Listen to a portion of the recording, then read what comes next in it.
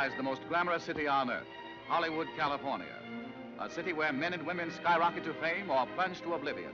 What happens amid the glamour of such famous gathering places as the Ambassador Pool, the Trocadero on the Gold Coast of the film city, at the Brown Derby where famous stars meet, or in the gay setting of Santa Anita Park?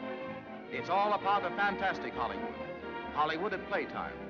Here behind the walls of Selznick International Studio, we see Hollywood at work. A new Janet Gaynor is in the making. A Janet Gaynor never before seen on the screen. Co-starring is Fredric March, more likable, more swashbuckling than ever before. And now we take you behind the scenes. Director William A. Wellman is guiding Janet Gaynor and Fredric March as they will appear in the David O. Selznick Technicolor production, A Star is Born. All right, Freddie, you know you've been after the girl uh, unsuccessfully. So this time must be very tender, very earnest, and very sincere, and rather quiet. You all ready, Duke? Ready, Mr. All right, roll 'em. So are you lovely. And the whole world's lovely. But don't come to see A Star is Born expecting to find a Cinderella story or a glorification of motion pictures. Instead, you will be shocked by the price that must be paid in heartbreak and tears for every moment of triumph in Hollywood.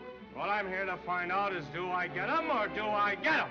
Unforgettable scenes of drama, intimate secrets in the lives of the great, bold revelations of how screen careers are ruined come to light in Selznick International's Technicolor production, A Star is Born.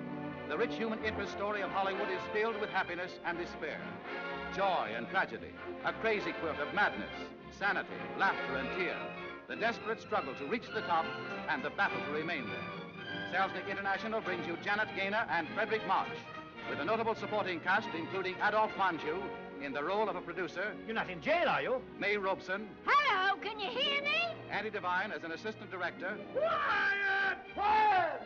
Lionel Stander as a headline grabbing press agent, and Edgar Kennedy. Oh, They come to you in Hollywood's first true story, rising from the heartaches and laughter of a million men and women.